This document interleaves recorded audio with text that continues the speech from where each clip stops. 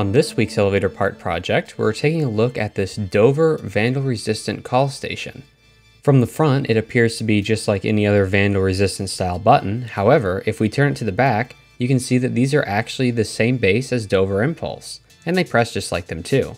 So if I pull one of these bases off, you can see here that the actual base itself is the same as Dover Impulse. However, the little frame that holds the actual button in place is a bit different. It's a bit bigger and, well, it doesn't hold a button in there. It's just a little spacer.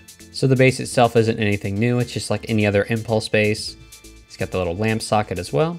As for the actual button, you can see two pieces are being held in by these little rings. So you have the frame and then the actual button piece. So there's not really a whole lot to see here, but it is kind of interesting how this works. And here you can see how the cover sits onto the button. So wiring this is going to be just like any other Dover Impulse button, specifically an intermediate. This one has one contact per button, so we'll be using that micro switch. And we also need to remove the lamps and make some lower voltage bulbs to use in the project. However, if you want to run this with the voltage that the bulbs are, that works as well. So for my lights, I'm going to be using these custom 3D printed lamp holders. Now obviously most of you probably don't have access to these, so you can actually create your very own low voltage LEDs out of the old LEDs by taking the original LED out and then putting a new one in. And I demonstrated this in one of my other videos, but the same idea works for this as well.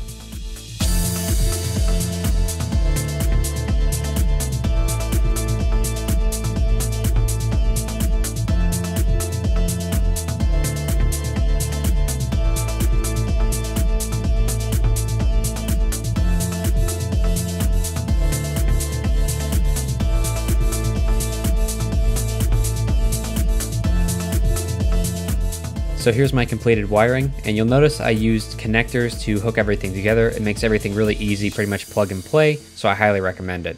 If you want a wiring schematic for this so you can do it yourself, if you head to the link in the description to my website, I have a little schematic there and a little bit more info about this if you want to wire one of these for yourself.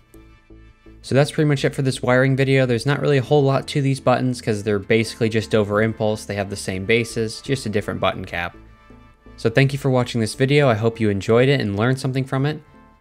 And we'll see you guys on the next project.